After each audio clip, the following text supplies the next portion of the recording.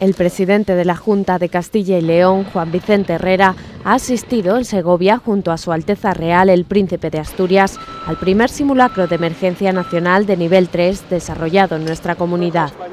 Los principales responsables civiles y militares de emergencias han tenido que hacer frente a la rotura de la presa del Pontón Alto, que provoca inundaciones y dos accidentes, uno en un complejo petroquímico y otro en una fábrica de combustible para centrales nucleares. Una catástrofe que, debido a su gravedad, asume la Unidad Militar de Emergencia. En el ejercicio Gama Palazuelos 2013 se han llevado a cabo simulaciones a nivel operativo y de intervención, así como la constitución de comités que recogen los planes de protección civil, regional y nacional.